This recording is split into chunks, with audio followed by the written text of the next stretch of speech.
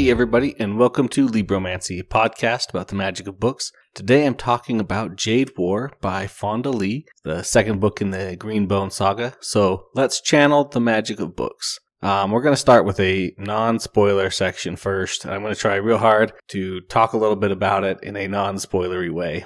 This uh, is a fine book. It has a really good premise. The thoughts behind it are really good. In practice, I find it a bit inconsistent. I find it a bit rushed and then slowed down and then rushed, where this is a minor spoiler, but it doesn't matter, doesn't affect anything in the book. The book takes place over three years, but you're not given a consistent schedule of time. Sometimes you're like a week and then a year goes by and then another week goes by and then a week goes by and you're like whoa these days are like or like one day a month another day a month another day and then it's just like now time and we're jumping ahead it's like whoa do we need do we need to jump that far like could we not like I just felt like it was very off whenever we jumped more than just a couple days to a week. You know, because jumping from a couple days to a week is kind of normal in in some books, but in this one it just never felt right. So if you remember, uh, let's keep going. No spoilers. So the characters I felt all made pretty rational decisions. They all felt pretty true, but I had a lot of issues with just with the characters kind of flip flopping on each other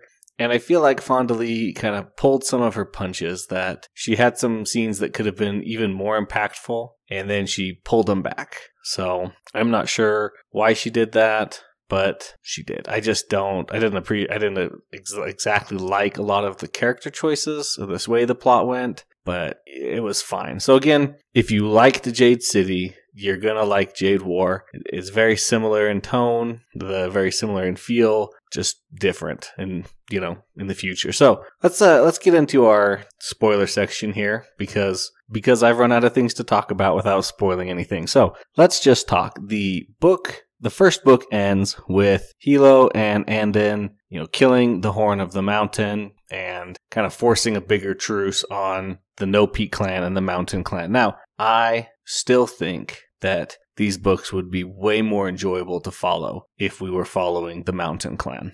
To me, the Mountain Clan is like the epitome of like what a true mafia family is. You have the incredibly strong head. You know, it would be a little better, I guess, if if Ayt uh, had a family, but she doesn't. So, but she's a strong head. She keeps her people in line with fear and with her power, and she doesn't tolerate traitors.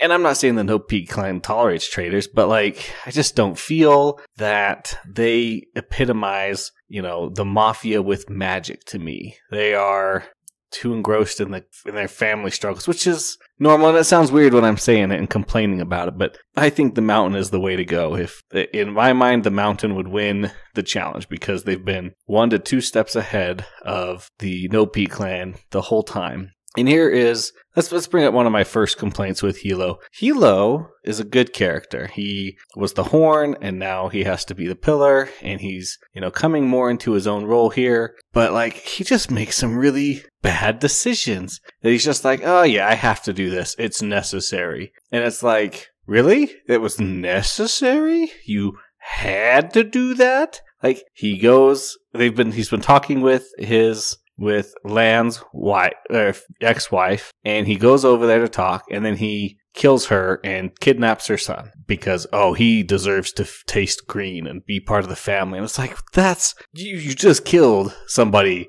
for nothing, like straight up cold-blooded murdered her just because. Like you also got kicked out of Oiwa, and you can never go back to Oiwa. Like you are alienating yourself. He is too hot-headed.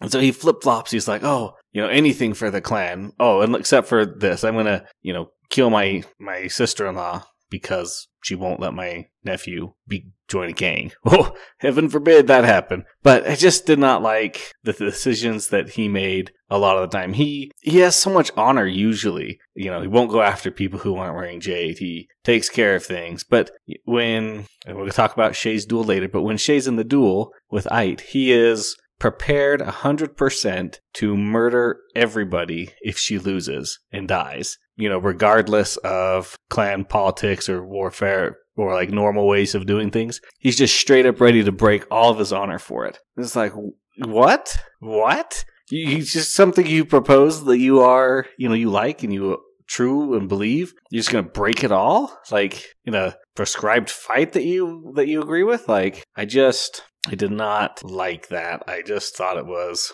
too flip floppy. All right, let's talk about. I want to save Shae for a little bit, so let's talk about Bero. Well, the plot armor is thick with Bero. He has survived so many things this time still. It's crazy. I thought it was a good plan of him to steal the jade off of Lan's corpse in the grave when they're burying, you know, their grandfather. But they didn't think like, hey, you know, we buried all that jade. Maybe we should post a guard, even just like a low level finger, you know, somebody to watch out who has jade, can't be bought off while we've got this. Yeah, you know, just like really, like we didn't like bury, dig the hole, bury him, and then it was all done. Whatever. I'm glad they figured it out that it was stolen. You know, he practices, he practices. And this is something that, you know, slightly bothered me again with the perception. It's super like touchy, like, oh, I can, with perception, I can perceive anybody with Jade in a certain radius of me. Oh, except for this one guy. Or, oh, except for this one time. And like, I can sense the murderous intent and track them by that. Well, except when it's mood, you know, mud. He can totally trick your perception, which I know if you can like withstrain your killing intent, but like Bero is drugged and oh, what was it? What happened to him? Yes, he gets hit with a sleeping drug. He gets jade withdrawal, and Mudt injects over injects him with SN1 shine, and you know, so he will die. And what does all those things do together? Well, apparently they just slow you down enough so that the poison doesn't kill you, and you could be saved by an ambulance. You what? really? I, I was really hoping he was dead, but I knew he wouldn't be. And that is part of what I didn't like because he's just. He, he's he's in it till the end. He, he doesn't do anything of huge consequence, but you know his character could be replaced in every instance by somebody else doing the exact same actions, and it really wouldn't change much. But so like in the first book, like uh, he is the one who shoots Lan and chases him. Well, that could have been done by anybody. It didn't have to be Bero. Nothing he had besides the Jade Fever, which other people have, you know, could have pushed him to do that kind of stuff. But he survives. He goes gambling and he's ready to end it all. And the guy that Hilo saved, who lost his arms, you know, kind of rescues him, talks, and Bero just starts spilling all of his secrets that he worked with Zapunyo and all these people. And they call him and start helping him out. And then they're like, you know, at the end, he's just, he's anti Jade. He's gotten over his Jade addiction, which is great. Love it. That was cool, you know, seeing him work there. But now he's anti clan, even though the clan just like saved his life and helped him get a job. Like, what? Why? I, eh, why he's so angry about him, but like, so now he's joining a resistance. It's just like he's always on an antagonistic side. I just, don't don't enjoy it. So, all right. Let's start with Wen. I still think Wen is one of the best characters that we get to see. She's dedicated, she's smart, she's diligent, she's thoughtful. I mean, she's just everything you'd want in a good character. You know, I like, you know, she gets pregnant, she has a kid, then she gets pregnant, has another one. That's totally normal. It was all good. She does her spy work where she'll kind of meet with some people and then, like, she's a jade transporter. But again, this is where I have a little bit of confusion about these kind of things because a jade or a green bone can sense jade. So he can be like, aha, that's jade. But if Wen's holding the jade, all of a sudden he can't sense it anymore, even though she's not using it, but she's not dampening it either. She can't dampen the the energy or the power of the jade by touching it. She just isn't affected by it at all. But they can sense jade. They they they can. It's explicit multiple times. They they kind of can sense people's jade that are either people are wearing or you know if you're holding or you're nearby it.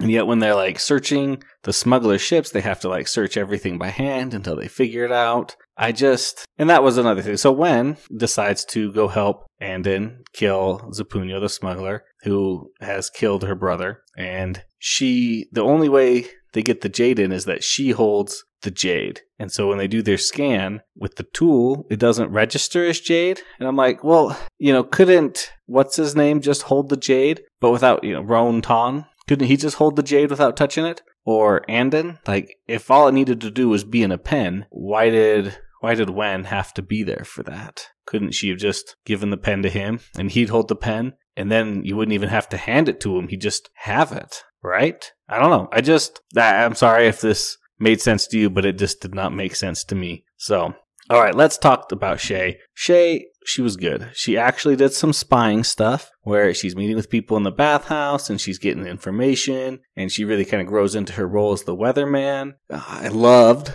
loved the scene where she challenges Ayt to a fight, the the pillar of the clan, and they are going at each other and she's like, I can win this. And then she loses, and I was like, okay, that was cool. It was still a good fight. I don't know. I'm a little disappointed she didn't lose. She didn't win, and I'm a little disappointed she didn't die. But like, it was still a good scene. It was nice. It was dramatic. It really fit. I kind of liked her relationship with Maro, somebody who doesn't want to be a greenbone. You know, wears very little, if any, jade. You know, he's a kind of a philosopher and a teacher, and he just, you know, he loves her, and they talk. But then uh, this is going to be a little graphic. So if you're, uh, well, it's not like graphic, graphic, but it's something to watch out for. But it's in the book. She gets pregnant and then she just immediately chooses to have an abortion. And I understand the reasoning. It's very well thought out. And, but she doesn't include him at all in that. And yes, it's her body and her choice, but they are in a relationship together. Those kind of things you should talk about just because it's a good thing to talk about with people.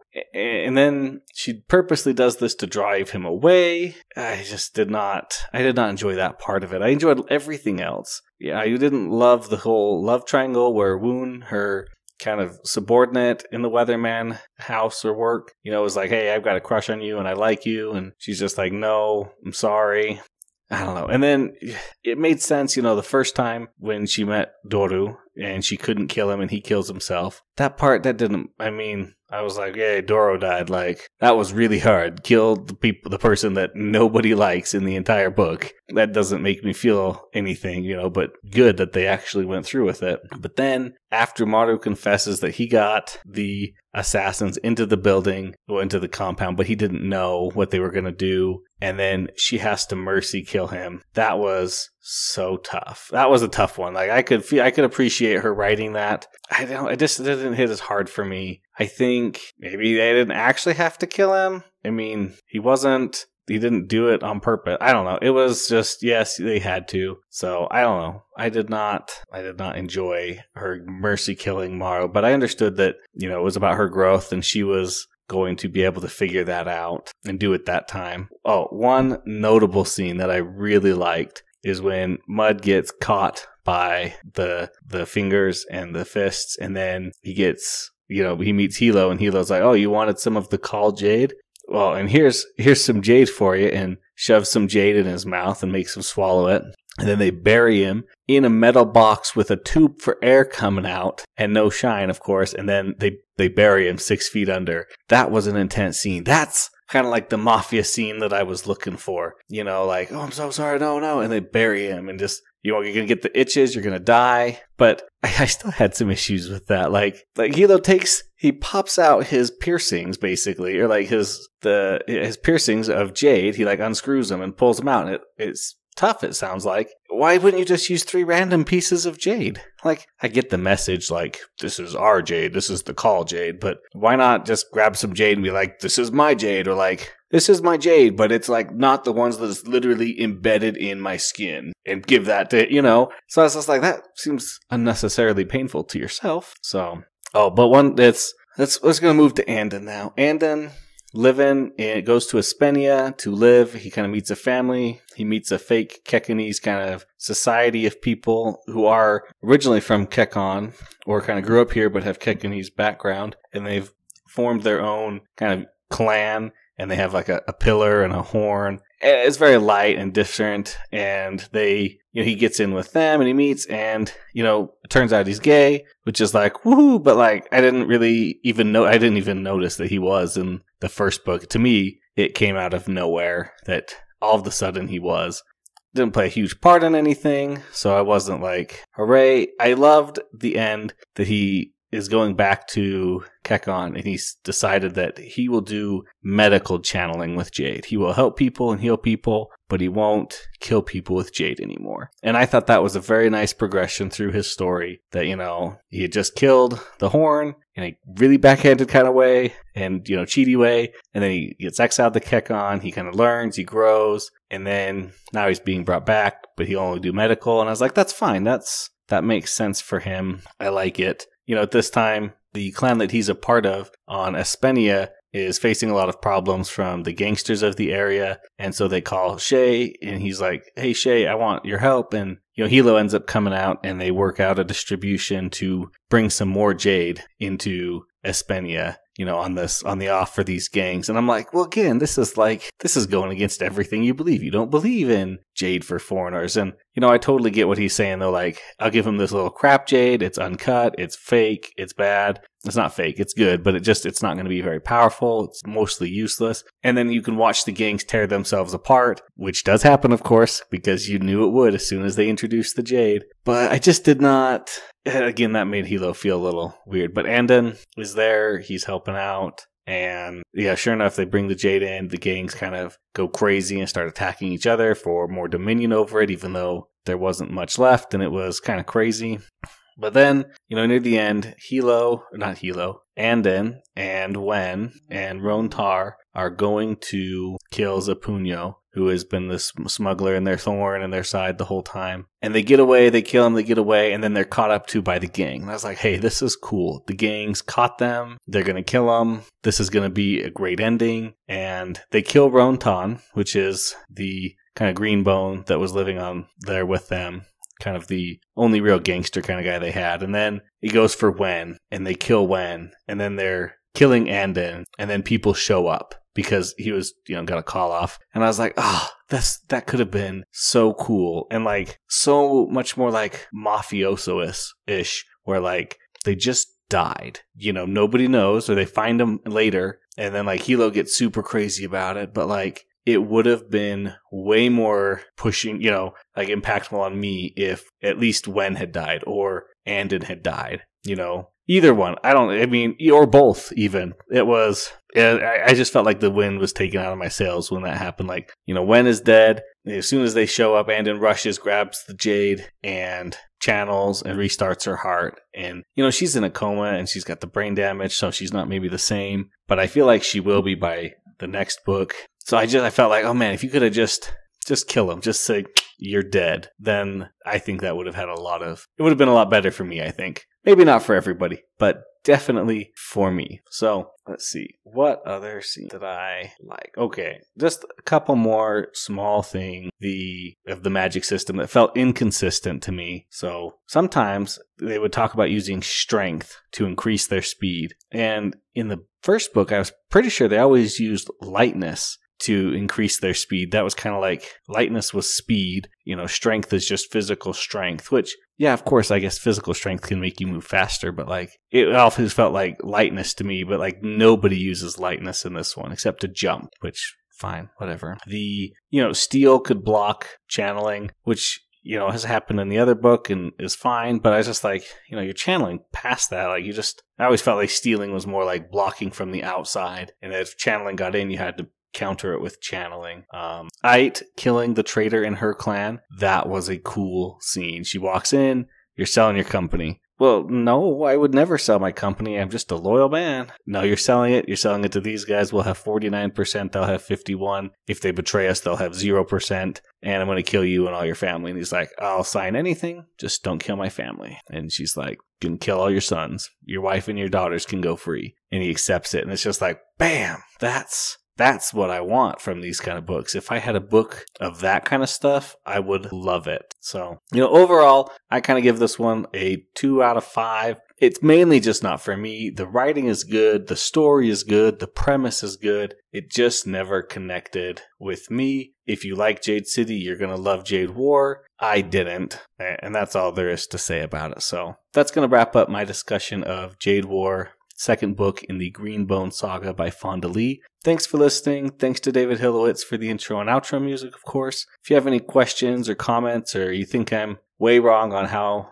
good or bad Jade War is, you know, let me know. Send them to send. You can send me an email at libromancypod at gmail.com. You know, please remember to like and subscribe wherever you get your podcast from. That really helps us, uh, new people find it, the channel, and always remember to channel the magic of books.